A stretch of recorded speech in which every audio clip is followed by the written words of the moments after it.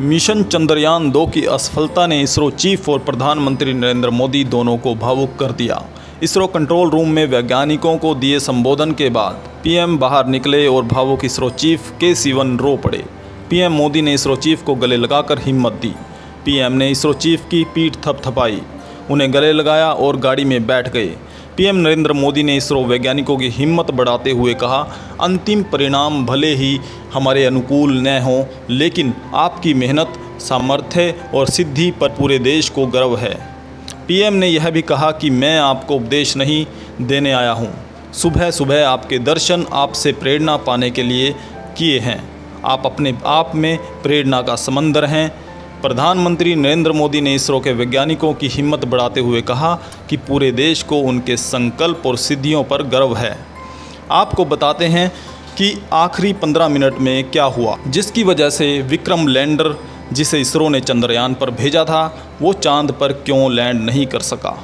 सिर्फ़ ढाई किलोमीटर की दूरी पर जब विक्रम चंद्रमा के करीब था तो उसका संपर्क लैंडिंग प्लेस से टूट गया था और चाँद हमारे हाथ से फिसल गया। लेकिन भारतीय इसरो की इस हार में भी जीत निकली। हम फिर आगे बढ़ेंगे। एक दिन ज़रूर चंद्रमा पर पहुँचेंगे। जय Hind.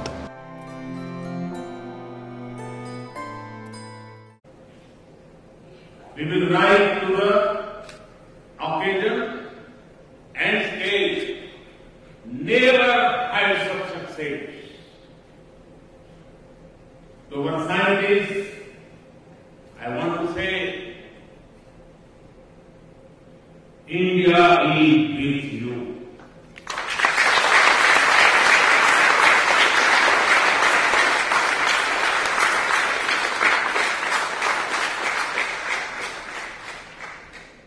You are